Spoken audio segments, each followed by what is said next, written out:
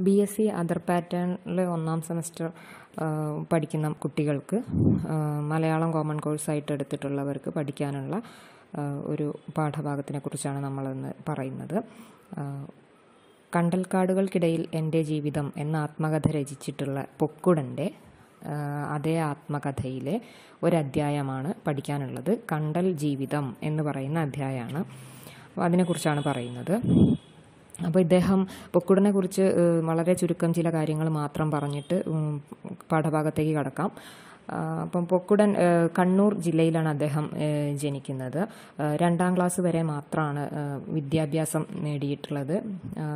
പിന്നെ പിന്നീട് അദ്ദേഹത്തിന് ഈ രാഷ്ട്രീയ പാർട്ടികളിൽ അവിഭക്ത കമ്മ്യൂണിസ്റ്റ് പാർട്ടിയിലെ പ്രവർത്തകനായി ഒരുപാട് കാലം അദ്ദേഹം ജയിൽവാസം അനുഭവിക്കുകയും അങ്ങനെ പല രീതിയിൽ പാർട്ടിക്ക് വേണ്ടി പ്രവർത്തിച്ചിട്ടുണ്ടായിരുന്നു ആദ്യ കാലങ്ങളിൽ പക്ഷേ പിന്നീട് ഈ ഒരു പാർട്ടിയിൽ അദ്ദേഹത്തിന് പാർട്ടി പിളർന്ന ശേഷം വിശ്വാസം നഷ്ടപ്പെടുകയും അതിന് ശേഷം കുറേയേറെ സംഭവങ്ങളിലൂടെ അദ്ദേഹത്തിന് പാർട്ടി പ്രവർത്തനത്തിനോടുള്ള ആ ഒരു എന്താണ് ആഗ്രഹം അദ്ദേഹത്തിന് നഷ്ടപ്പെടുകയും അദ്ദേഹം പരിസ്ഥിതി പ്രവർത്തനത്തിലേക്ക് തിരിയുകയും ചെയ്യുകയാണ് ഉണ്ടായിട്ടുള്ളത്. അപ്പോൾ അങ്ങനെ അദ്ദേഹം ഈ പരിസ്ഥിതി പ്രവർത്തനത്തിലേക്ക് ശ്രദ്ധയൂന്നുന്നുണ്ട് അപ്പോൾ അത് പ്രത്യേകിച്ചും ഈ കണ്ടൽ ചെടികളുമായിട്ട് ബന്ധപ്പെട്ടിട്ടാണ്. അപ്പോൾ കണ്ടൽ എന്നുള്ള പേരിന്റെ ആ കണ്ടൽ ചെടിയുടെ ഒരു പര്യായ പദമായി തന്നെയാണ് ഇന്ന് മിക്കവാറും എന്ത് ഉപയോഗിക്കുന്നത്? പൊക്കുടൻ എന്ന പേരും നമ്മൾ പ്രയോഗിച്ചു വരുന്നത് അല്ലേ? കാരണം അത്രമേൽ അദ്ദേഹം അദ്ദേഹം ആഗ്രഹിച്ചിരുന്നതും എന്തായിരുന്നു? തന്റെ പേര് കണ്ടൽ പൊക്കുടൻ എന്നറിയപ്പെടാനായിരുന്നു അദ്ദേഹം ആഗ്രഹിച്ചിരുന്നത് എന്ന് പറയുന്നുണ്ട് ആത്മകഥയിൽ. അതുപോലെ തന്നെ ഞാനൊരു പ്രാന്തൻ കണ്ടലാണ് എന്നൊക്കെ കണ്ടൽ ചെടികൾ പലതരത്തിലുള്ള കണ്ടൽ ചെടികളുണ്ട് പല പേരിലുള്ള. അപ്പോൾ അതിലുള്ള പ്രാന്തൻ കണ്ടലാണ് ഞാൻ എന്നൊക്കെ അദ്ദേഹം ആത്മകഥയിൽ പറയുന്നുണ്ട്. അപ്പോൾ നമ്മൾ ഇപ്പോൾ ഈ പേര് കേട്ടാൽ തന്നെ കണ്ടൽ കാടുകൾക്കിടയിൽ എന്റെ ജീവിതം എന്നുള്ള ആ പേര് വ്യക്തമാക്കുന്ന അല്ലെങ്കിൽ സൂചിപ്പിക്കുന്ന പോലെ തന്നെ കണ്ടൽ ചെടികൾ പ്രധാനമായിട്ടും കണ്ടൽ ചെടികളെ കുറിച്ചാണ് ഇതിൽ അദ്ദേഹം പറയുന്നത്. ഒരു ആത്മകഥ എന്നുള്ളത് നമ്മളുടെ മനസ്സിലുണ്ടാവുക എന്താണ്? ഒരു വ്യക്തിയുടെ അല്ലെങ്കിൽ ആ എഴുത്തുകാരന്റെ അനുഭവങ്ങളും ജീവിതത്തിലെ പല പല സങ്കീർണമായിട്ടുള്ള സന്ദർഭങ്ങളും ഒക്കെ അനാവരണം ചെയ്യുന്ന ഒരു കൃതി എന്നുള്ള നിലയ്ക്കാണ് അല്ലേ നമ്മൾ ആത്മകഥയെ പഠിക്കുന്നതും നോക്കിക്കാണുന്നതും. പക്ഷേ തികച്ചും വ്യത്യസ്തമായിട്ട് പരിസ്ഥിതിയെ ആണ് അദ്ദേഹം തന്റെ ആത്മകഥയിൽ അവതരിപ്പിക്കുന്നത് എന്നുള്ളതാണ് പൊക്കുടന്റെ ആത്മകഥയുടെ ഒരു സവിശേഷത. കാരണം അദ്ദേഹം അദ്ദേഹത്തിന്റെ ആത്മം എന്നുള്ളത് ആയിട്ട് കണ്ടിട്ടുള്ളത് എന്തിനെ തന്നെയാണ്? ഈ കണ്ടൽ ചെടികളെ തന്നെയാണ്. അപ്പോൾ അതുകൊണ്ട് തന്നെ അദ്ദേഹം തന്റെ ആത്മകഥയിൽ എന്താണ് എന്തിനെക്കുറിച്ചാണ് എഴുതുന്നത്? കണ്ടൽ ചെടിയെക്കുറിച്ചാണ് കൂടുതലായിട്ടും എഴുതുന്നത്. വ്യത്യസ്ത തരത്തിലുള്ള കണ്ടൽ ചെടികളെക്കുറിച്ചും അതിന്റെ പ്രയോജനങ്ങളെക്കുറിച്ചും എല്ലാം അദ്ദേഹം വിവരിക്കുകയാണ് ചെയ്യുന്നത് തന്റെ ആത്മകഥയിൽ. അപ്പോൾ പിന്നെ അതുപോലെ തന്നെ ആത്മകഥയിൽ ഊന്നൽ നൽകുന്ന മറ്റൊരു കാര്യം ജാതിയെക്കുറിച്ചാണ്. അപ്പോൾ ജാതിപരമായിട്ടുള്ള ഉയർച്ച താഴ്ചകളെക്കുറിച്ചും താഴ്ന്ന ജാതിയിൽ പിറന്നതുകൊണ്ടുണ്ടായിട്ടുള്ള ബുദ്ധിമുട്ടുകൾ അനുഭവിക്കേണ്ടി വന്നിട്ടുള്ള കാര്യങ്ങൾ അതിനെക്കുറിച്ചൊക്കെ കൂടി നമ്മൾ ഈ ആത്മകഥയിൽ കണ്ടൽക്കാടുകൾക്കിടയിൽ എന്റെ ജീവിതം എന്ന് പറയുന്ന ആത്മകഥയിൽ പൊക്കുടൻ. വിശദീകരിക്കുന്നുണ്ട്. അപ്പോൾ അങ്ങനെ കണ്ടൽ പൊക്കുടൻ എന്നുള്ള ആ പേരിൽ അറിയപ്പെടാൻ ആഗ്രഹിച്ചു അദ്ദേഹം. അതുപോലെ തന്നെ എന്താണ് ആ ആഗ്രഹം സഫലമാവുകയും ചെയ്തു അല്ലേ അദ്ദേഹത്തിന്റെ നമ്മൾ ഇന്ന് നേരത്തെ പറഞ്ഞ പോലെ എന്താണ് കണ്ടൽ ചെടിക്കിന്റെ ഒരു പര്യായ പദം എന്ന പോലെയാണ് പൊക്കുടൻ എന്നുള്ള പേര് പറഞ്ഞു വരുന്നത്. അപ്പോൾ അങ്ങനെ ഇത്രയുമൊക്കെ കാര്യങ്ങളാണ് നമുക്കൊരു ആമുഖമായിട്ട് ഇത്രയൊന്നല്ല. എന്നാലും വളരെ ചുരുക്കി പറയുകയാണെങ്കിൽ ഇത്രയും കാര്യങ്ങളാണ് നമുക്ക് ഇതിനെക്കുറിച്ച് പറയാനുള്ളത്. അപ്പോൾ കണ്ടൽക്കാടുകൾക്കിടയിൽ എന്റെ ജീവിതം എന്ന ആത്മകഥയിലെ ഒരൊറ്റ ഒരു അധ്യായമാണ് നമുക്ക് പഠിക്കാനുള്ളത് കേട്ടോ. കണ്ടൽ ജീവിതം എന്നാണ് അധ്യായത്തിന്റെ പേര്. അധ്യായത്തിലേക്ക് കടക്കാം. ഭാവിയിൽ ആരായിത്തീരണം എന്നൊരു ചോദ്യം പുതുതലമുറയിൽപ്പെട്ട കുട്ടികൾ പലപ്പോഴും കേൾക്കാറുണ്ട്. രക്ഷിതാവോ ക്ലാസ് മാഷോ ആരെങ്കിലും ആയിരിക്കാം ചോദ്യകർത്താവ്. എന്റെ കുട്ടിക്കാലത്ത് അങ്ങനെ ആരും ചോദിച്ചിരുന്നില്ല. സ്വന്തം ഭാവിയെക്കുറിച്ച് ആരും തന്നെ ആലോചിച്ചിരുന്നുമില്ല. ഇന്നിപ്പോൾ ഭാവിയിൽ എങ്ങനെ അറിയപ്പെടണമെന്ന് ആരെങ്കിലും ചോദിച്ചാൽ എന്റെ ഉത്തരം വളരെ ലളിതമാണ്. കണ്ടൽ പൊക്കുടൻ എന്ന പേരിൽ അറിയപ്പെടണം. അതാണ് എന്റെ ആഗ്രഹം. കാരണം കണ്ടലിനെ ഞാൻ അത്രയധികം സ്നേഹിക്കുന്നു. കുറേയൊക്കെ ഞാനത് നട്ടുപിടിപ്പിച്ചിട്ടുണ്ട്. പലരും അത് നശിപ്പിച്ചിട്ടുണ്ട്. എങ്കിലും എനിക്ക് നിരാശയില്ല. നശിപ്പിച്ചവരാണല്ലോ യഥാർത്ഥത്തിൽ നിരാശപ്പെടേണ്ടത്. ഇങ്ങനെയാണ് നമ്മുടെ കണ്ടൽ ജീവിതം എന്ന് പറയുന്ന അധ്യായം തുടങ്ങുന്നത് കേട്ടോ. അപ്പോൾ എന്താ പറയുന്നത് ആദ്യത്തെ ഭാഗത്ത്? ആരായി തീരണം എന്ന് അല്ലേ നമ്മൾ മിക്കവാറും എല്ലാവരും അഭിമുഖീകരിച്ചിട്ടുള്ള ചോദ്യമാണ് അല്ലേ നിനക്ക് ആരായി തീരേണ്ടത് വലുതാകുമ്പോൾ എന്ന്. അപ്പോൾ പൊക്കുടൻ പിന്നെ എന്താണ് അങ്ങനെയുള്ള അദ്ദേഹത്തിന്റെ കുട്ടിക്കാലത്ത് അങ്ങനെ ആരായി തീരണം എന്നുള്ള ആ ഒരു ആഗ്രഹം അല്ലെങ്കിൽ സ്വന്തം ഭാവിയെക്കുറിച്ച് ആരും തന്നെ അങ്ങനെ ചിന്തിച്ചിരുന്നില്ല എന്നാണ് പൊക്കുടൻ പറയുന്നത്. ആ കാലത്തിന്റെ പ്രത്യേകതയാണ്.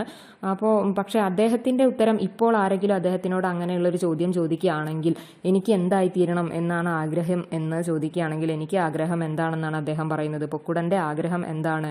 കണ്ടൽ പൊക്കുടൻ എന്ന പേരിൽ അറിയപ്പെടണം എന്നുള്ളതാണ് എന്റെ ഏറ്റവും വലിയ ആഗ്രഹം എന്നാണ് പൊക്കുടൻ പറയുന്നത്. ഓർമ്മിച്ചു വെക്കുക പൊക്കുടൻ എന്തായിട്ട് അറിയപ്പെടാനാണ് ആഗ്രഹിക്കുന്നത്? കണ്ടൽ പൊക്കുടൻ എന്ന പേരിൽ അറിയപ്പെടാനാണ് ആഗ്രഹിക്കുന്നത് എന്നാ പറയുന്നത്. എന്തുകൊണ്ടാണ് അദ്ദേഹം അത്രമേൽ ആ ചെടിയെ സ്നേഹിക്കുന്നുണ്ട് കണ്ടൽ ചെടികളെ സ്നേഹിക്കുന്നുണ്ട്? ധാരാളമായിട്ട് അവയെ നട്ടുപിടിപ്പിക്കുകയും പരിപാലിക്കുകയും ചെയ്തിട്ടുണ്ട് അല്ലേ? അപ്പോൾ പക്ഷേ എന്താണ് ധാരാളം ആളുകൾ അതിനെ നശിപ്പിച്ചിട്ടുണ്ട്. പക്ഷേ എന്താണ് ആ നശിപ്പിച്ചവർ തന്നെയാണ് സങ്കടപ്പെടേണ്ടതും എന്ന് പറയാണ്. കാരണം പരിസ്ഥിതിക്ക് വളരെയധികം പരിസ്ഥിതിക്കും ഏ, മാത്രം എന്നല്ല ഒരുപാട് ജീവി വർഗങ്ങളുടെ ആവാസ കേന്ദ്രം കൂടിയാണ് ഈ കണ്ടൽ ചെടികൾ അപ്പോൾ അതൊക്കെ നശിപ്പിച്ചവരാണ് യഥാർത്ഥത്തിൽ ദുഃഖിക്കേണ്ടത്. ഇത്രയും വലിയൊരു ആവാസ വ്യവസ്ഥയെ നശിപ്പിക്കുകയാണ് അവർ ചെയ്തത് അല്ലേ അപ്പോൾ അതുകൊണ്ട് അവരാണ് തിക തീർച്ചയായിട്ടും ദുഃഖിക്കേണ്ടത് എന്ന് പറയാണ്. നശിപ്പിച്ചവർ തന്നെയാണ് ദുഃഖിക്കേണ്ടത് എന്ന് പൊക്കുടൻ പറയാണ്. അതാണ് ആദ്യത്തെ പാരഗ്രാഫിൽ പറയുന്നത്. അടുത്ത ഭാഗം നോക്കാം. കുറേ കാലം ഞാൻ നല്ല ഒരു രാഷ്ട്രീയക്കാരനായിരുന്നു. നമ്മൾ നേരത്തെ പറഞ്ഞല്ലോ രാഷ്ട്രീയ പ്രവർത്തകനായിരുന്നു ഒരു കാലത്ത് ഇദ്ദേഹത്തിന്റെ പ്രധാന കാര്യങ്ങൾ എന്ന് അല്ലേ അതിനുശേഷമാണ് ആദ്യകാലങ്ങളിലൊക്കെ രാഷ്ട്രീയ പ്രവർത്തകനായിരുന്നു. കമ്മ്യൂണിസം എന്താണെന്നൊന്നും പണ്ടും എനിക്കറിയില്ല. പക്ഷേ ഞാൻ ഉൾപ്പെടെ എന്റെ ചുറ്റുമുള്ള ആളുകൾക്കിടയിൽ വലിയവരും ചെറിയവരും പണക്കാരും പാവങ്ങളും ഉണ്ടെന്ന് എനിക്ക് ബോധ്യപ്പെട്ടു. അതിൽ പാവങ്ങളുടെ കൂടെ നിൽക്കുന്നത് കമ്മ്യൂണിസ്റ്റുകാരാണെന്ന് എനിക്ക് മനസ്സിലായി. അങ്ങനെ ഞാൻ അവരുടെ കൂടെ കൂടി. എനിക്ക് ഏറ്റവും ഇഷ്ടപ്പെട്ട നേതാവ് എ കെ ജി ആണ്. പാർട്ടി നടത്തിയ സമരങ്ങളിലെല്ലാം ഞാൻ പങ്കെടുത്തു. പാർട്ടി ആവശ്യപ്പെട്ടതെല്ലാം ഞാൻ ചെയ്തു. പക്ഷേ പിന്നീട് പിന്നീട് പല കാരണങ്ങൾ കൊണ്ടും പാർട്ടിയോടുള്ള അടുപ്പം കുറഞ്ഞു. കുടിയാൻ ബില്ല് സംരക്ഷിക്കാൻ ചെയ്ത സമരവും മട്ടക്കണ കൊണ്ട് പത്ത് സെന്റ് അളന്നു കൊടുക്കാൻ കാണിച്ച ആവേശവും എൺപതായപ്പോഴേക്കും ഇല്ലാതായി. നമ്മുടെ രാഷ്ട്രീയക്കാർക്ക് എന്തൊക്കെയോ തകരാറുണ്ടെന്ന തോന്നൽ ശക്തമായി. മനസ്സ് വല്ലാതെ മടുത്തു. ഒരു ഇടതുപക്ഷക്കാരനായ പുലയനെ ഉൾക്കൊള്ളാനൊന്നും പുലയ സമുദായം അന്ന് വളർന്നിട്ടില്ലായിരുന്നു. അവരെ ഉൾക്കൊള്ളാൻ ഇടതുപക്ഷം ഇന്നും വളർന്നിട്ടില്ലെന്നും തോന്നുന്നു. സമുദായവും പാർട്ടിയും ഇഷ്ടപ്പെട്ട രണ്ടു വിഭാഗവും എനിക്ക് അന്യമായി തോന്നി. കുറച്ചുകാലം ഒന്നും ചെയ്തില്ല. എന്തു പറഞ്ഞാലും ജാതിയുണ്ടാക്കിയ ദുരിതം ചെറുതൊന്നുമല്ല. ഒന്നും ചെയ്യാതിരുന്നാൽ നേരം പോകില്ല എന്ന ചിന്ത ബലപ്പെട്ടു. പലയ കാലത്തായി ആറായിരത്തിലധികം ചെടികൾ നട്ടു. ഏറെ പരീക്ഷണങ്ങൾ നടത്തി. ഒട്ടുമിക്കതും വിജയമായിരുന്നു. വിദേശത്തൊക്കെ കോടികൾ മുടക്കി ഗവൺമെന്റ് കണ്ടൽ നട്ടുപിടിപ്പിക്കുന്നുണ്ടെന്ന് ജാഫർ പറയാറുണ്ട്. അത് കേൾക്കുമ്പോൾ അഭിമാനം തോന്നും. എനിക്ക് ഇത്രയെങ്കിലും ചെയ്യാനായല്ലോ. അപ്പോൾ എന്താണ് തന്റെ ജീവിതത്തിലുണ്ടായ ചെറിയ മാറ്റങ്ങൾ? ഈ ഒരു പരിസ്ഥിതി അല്ലെങ്കിൽ കണ്ടൽ ചെടികൾ നടുന്നതിലേക്ക് താൻ വരാനിടയായ കാരണം എന്തായിരുന്നു? മുൻകാലത്ത് രാഷ്ട്രീയ പ്രവർത്തനമായിരുന്നു പിന്നീട് എന്താണ്? പാർട്ടി എന്താണെന്നോ മാർക്സിസം എന്താണെന്നോ കമ്മ്യൂണിസം എന്താണെന്നോ ഒന്നും അറിഞ്ഞിട്ടല്ല പാർട്ടിയിലേക്ക് വന്നത്. പണക്കാരും പാവപ്പെട്ടവരും എന്നൊക്കെ പറഞ്ഞ് വിഭാഗീയതകളുണ്ട്. അതിൽ പാവങ്ങളോടൊപ്പം നിൽക്കുന്നത് ഇവരാണ് കമ്മ്യൂണിസ്റ്റുകാരാണ് എന്നുള്ള തോന്നലിലാണ് ആ പാർട്ടിയോടൊപ്പം സഞ്ചരിച്ചത് ഒരുപാട് നാൾ. പക്ഷേ പിന്നീട് ആദ്യകാലത്ത് ആ പാർട്ടിക്ക് ഉണ്ടായിരുന്ന ആ ഒരു ശ്രദ്ധയും മികവും ഒന്നും പിന്നീട് ഇങ്ങോട്ട് കാണാൻ സാധിക്കാത്തതിനാൽ അല്ലെങ്കിൽ ആ ഒരു പ്രവർത്തനങ്ങളൊന്നും പിന്നീട് അവർ കാഴ്ചവെക്കാൻ കൂട്ടാക്കാത്തതിനാൽ എന്താണ് എല്ലാത്തിനോരും ഒരു മടുപ്പ് തോന്നുകയാണ് ഉണ്ടായത്. അല്ലെ ആദ്യകാലത്ത് സമുദായവും പാർട്ടിയുമായിരുന്നു ഏറ്റവും പിന്നെ ഇഷ്ടപ്പെട്ട രണ്ട് വിഭാ വിഭാഗം അദ്ദേഹത്തിന് അല്ലെ പൊക്കുടനെ. പക്ഷേ പിന്നീട് എന്താണ് രണ്ടിനോടും അദ്ദേഹത്തിന് മടുപ്പ് തുടങ്ങുകയാണ്. പിന്നീടാണ് അദ്ദേഹം ഈ പരിസ്ഥിതി പ്രവർത്തനത്തിലേക്ക് കണ്ടൽ ചെടികൾ നട്ടുപിടിപ്പിക്കുന്നതിലേക്ക് തിരിയുന്നത് എന്ന് പറയുന്നു. അപ്പോൾ അത്രയും കാര്യമാണ് രണ്ടാമത്തെ പാരഗ്രാഫിൽ പറയുന്നത്. അടുത്ത ഭാഗം നോക്കാം. കണ്ടൽ കൃഷിയുടെ രണ്ടാം ഘട്ടത്തിൽ ഏതാണ്ട് ആയിരം ചെടികൾ ഭംഗിയായി വളർന്നു വരുമ്പോഴാണ് പയ്യന്നൂർ കോളേജിലെ ടി പവിത്രൻ മാഷ് ഇത് കാണാനിടയായത്. മാഷ് മാതൃഭൂമിയിലെ ഫോട്ടോഗ്രാ ഫോട്ടോക്കാരൻ മധുരാജിനോട് പറഞ്ഞ് ഒരു പടമെടുത്ത് മാതൃഭൂമിയുടെ ഒന്നാം പേജിൽ ഒരു വാർത്തയാക്കി. പിന്നെ ധാരാളം പേർ ഇത് പഠിക്കാൻ വന്നു. എനിക്ക് രാഷ്ട്രീയത്തിൽ പൂർണമായും താല്പര്യമില്ലാതായി രാഷ്ട്രീയത്തിന് പുറത്ത് ഒരുപാട് സുഹൃത്തുക്കളെ കിട്ടി. നല്ലവർ. ഇന്ന് ഞാനൊരു രാഷ്ട്രീയക്കാരനല്ല. എനിക്കൊരു വഴിയുണ്ട്. ഞാൻ സ്വയം തെരഞ്ഞെടുത്ത വഴി. ശരിയും തെറ്റുമുണ്ടാകാം. എല്ലാം നിസ്സാരമായി കാണുന്നവർക്ക് ഇതും ഒരു തമാശയായി തോന്നാം. അവശേഷിക്കുന്ന ഈ കാടിന്റെ പച്ചപ്പും ചതുപ്പിന്റെ മണവും ഉപ്പുകാറ്റുമാണ് എനിക്ക് ജീവിതം. ആ വരികളൊക്കെ ഒന്ന് ആ വരിയൊക്കെ ഒന്ന് നോട്ട് ചെയ്ത് വെക്കുന്നത് നല്ലതാണ്. പ്രത്യേകം ശ്രദ്ധിക്കുക. പരീക്ഷയ്ക്ക് ഇങ്ങനെ വരികളൊക്കെ എടുത്ത് ചോദിക്കും. ഇതാരാണ് ഇങ്ങനെ പറയുന്നത്? സന്ദർഭം ഏതാണ്? എന്നൊക്കെ പറയും വ്യക്തമാക്കാൻ പറയും. അപ്പോൾ ശ്രദ്ധിക്കുക. അവശേഷിക്കുന്ന ഈ കാടിന്റെ പച്ചപ്പും ചതുപ്പിന്റെ മണവും ഉപ്പുകാറ്റുമാണ് എനിക്ക് ജീവിതം. പൊക്കുടനാണ് പറയുന്നത് അല്ലേ ഈ കണ്ടൽ ചെടികളോടൊത്തുമുള്ള ഈ ജീവിതം. ഇത് തന്നെയാണ് എന്റെ ഇനിയുള്ള ജീവിതം എന്ന് തീരുമാനിക്കപ്പെട്ട് കഴിഞ്ഞു എന്ന് പറയാണ് അല്ലേ ആ ഉപ്പ് ജലത്തിലാണ് ഈ കണ്ടൽ കൂടുതൽ. ശുദ്ധജലത്തിൽ വളരുന്നതും ഉണ്ട് കേട്ടോ പക്ഷേ ഉപ്പ് ജലത്തിൽ വളരുന്ന ഇതാണ് കൂടുതലായിട്ടുള്ളത്. അപ്പോൾ അതുകൊണ്ടാണ് ഇങ്ങനെ പറയുന്നത് ഉപ്പുകാറ്റും ഒക്കെയാണ് എനിക്ക് ജീവിതം അല്ലേ അപ്പോൾ ഈ പരിക്കൻ ജീവിതം തന്നെയാണ് എനിക്ക് തീർച്ചയായിട്ടും ഇഷ്ടം എന്ന് പറയുകയാണ് അല്ലേ രാഷ്ട്രീയത്തിനൊക്കെ അതീതമായിട്ട് ധാരാളം സുഹൃത്തുക്കളൊക്കെ ഇന്ന് എനിക്കുണ്ട് എന്നൊക്കെ അദ്ദേഹം പറയുകയാണ് വ്യക്തിപരമായിട്ടുള്ള ചില സൂചനകളൊക്കെ ചില ഇടങ്ങളിലൊക്കെ നൽകുന്നുണ്ട് ചില അധ്യായങ്ങളിലെങ്കിലും. പക്ഷെ ഭൂരിഭാഗം ഭാഗത്തും ഈ ആത്മകഥയിൽ എന്താ പറയുന്നത്? കണ്ടൽ ചെടികളെക്കുറിച്ചും അവയുടെ വ്യത്യസ്ത വിഭാഗത്തെക്കുറിച്ചും ഒക്കെയാണ് പറയുന്നത് കേട്ടോ. അടുത്ത ഭാഗം നോക്കാം. പുഴവക്കത്ത് മുന്നൂറ്റി ചില്ലാനം കണ്ടൽ ചെടികൾ നട്ടു. പുഴയിലെ മോതയടിച്ച് മോത എന്ന് പറഞ്ഞ തിരയാണ് കേട്ടോ. പുഴയിലെ മോതയടിച്ച് ചിറ തകരുന്നത് തടയാനും കുട്ടികൾ സ്കൂളിൽ പോകുമ്പോൾ കാറ്റിന്ന് രക്ഷ നേടാനും വേണ്ടിയായിരുന്നു ഞാനിത് വെച്ചു തുടങ്ങിയത്. ചെടികൾ വളർന്നു വന്നപ്പോൾ പുതിയൊരു കാഴ്ചയും ആരും നോക്കി ആസ്വദിക്കുകയും സന്തോഷിക്കുകയും ചെയ്ത അവസരത്തിൽ അനന്തന്മോന്റെ സ്നേഹിതർ ശാസ്ത്രസാഹിത്യ പരിഷത്ത് പ്രവർത്തകരായ നാരായണൻകുട്ടി മാഷും മറ്റു ചിലരും കൂടി നെരുവമ്പ്രത്ത് വെച്ച് ഒരു സ്വീകരണമൊക്കെ തന്നു. പിന്നീട് സീക്കിന്റെ പ്രവർത്തകരായ പപ്പൻ മാഷ് T Pavithran Jafar Palott Babu Kamprath Nandu V C Balakrishnan തുടങ്ങിയവർ നിരന്തരം ഇത് വന്ന് കാണുകയും പഠിക്കുകയും ചെയ്തു. അതിനുശേഷം ഒരുപാട് ശാസ്ത്രജ്ഞന്മാർ ഇവിടെ വന്ന് എന്റെ കണ്ടൽ ചെടികൾ കണ്ടുപോയി. ഞാൻ നട്ടുവളർത്തിയ കണ്ടൽ ചെടികളിൽ പതിനായിരം എണ്ണം വികസനക്കാർ നശിപ്പിച്ചു. കുറെയൊക്കെ ഇപ്പോഴും വളരുന്നു. നട്ടുപിടിപ്പിച്ചുകൊണ്ടിരിക്കുന്നു. പിന്നെ ഫോറസ്റ്റുകാരെയും മറ്റ് സംഘടനകളെയും ഇതിൽ സഹായിക്കുകയും ചെയ്യുന്നു. അപ്പോൾ എന്ത് ഇതിൽ ഈ ഒരു പാരഗ്രാഫിൽ ഒരു പ്രധാനപ്പെട്ട ഒരു സംഗതി എന്താണ് നിങ്ങൾ നോട്ട് ചെയ്യേണ്ടതെന്ന് വെച്ചാൽ ഇദ്ദേഹം ഈ കണ്ടൽ ചെടികൾ നട്ടുപിടിപ്പിക്കാനുള്ള കാരണം പ്രധാനപ്പെട്ട കാരണങ്ങൾ എന്തൊക്കെയായിരുന്നു എന്നാണ് പറയുന്നത്.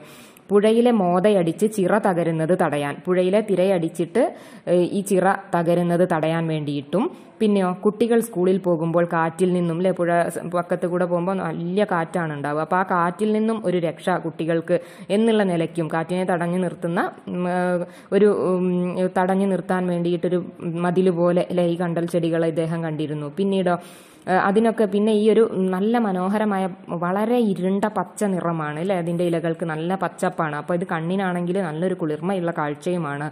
ഈ കാര്യങ്ങളൊക്കെയാണ് വളരെ ലളിതമായിട്ടാണ് പൊക്കുടൻ പറയുന്നത് കേട്ടോ.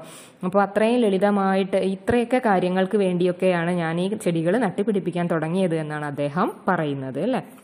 പിന്നെ ധാരാളം പേര് ഇതിനു വേണ്ടി തന്നെ സഹായിച്ചവരുടെ പേരൊക്കെയാണ് പിന്നീട് അതിൽ പറയുന്നത്.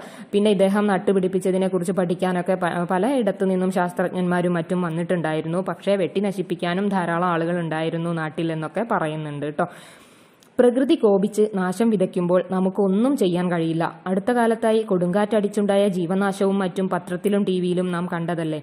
ഒറീസ ദുരന്തം. ഇതിന്റെ കാരണം മനുഷ്യൻ തന്നെയാണ്. യാതൊരു വീണ്ടുവിചാരവുമില്ലാതെ പുതിയ മനുഷ്യർ നമ്മുടെ തീരക്കാടുകളെ നശിപ്പിച്ചുകൊണ്ടിരിക്കുന്നു. രാഷ്ട്രീയക്കാർക്കും ഉദ്യോഗസ്ഥർക്കും കോൺട്രാക്ടർമാർക്കുമെല്ലാം ഈ കാര്യത്തിൽ ഒരേ താൽപ്പര്യമാണ് പുഴയും ചതുപ്പും മണ്ണിട്ട് നികത്തുമ്പോൾ വർഷകാലത്തെ അധിക ജലം ഉൾക്കൊള്ളാനാകാതെ വെള്ളപ്പൊക്കമുണ്ടാകും.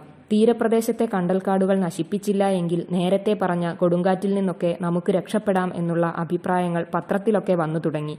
എല്ലാ പച്ചപ്പും ഇല്ലാതാകുമ്പോൾ ചുഴറ്റിയടിക്കുന്ന ഒരു കാറ്റിൽ നമുക്കെല്ലാം നഷ്ടമാകും. നമുക്കെന്നാണ് ഇതൊക്കെ ബോധ്യപ്പെടുക?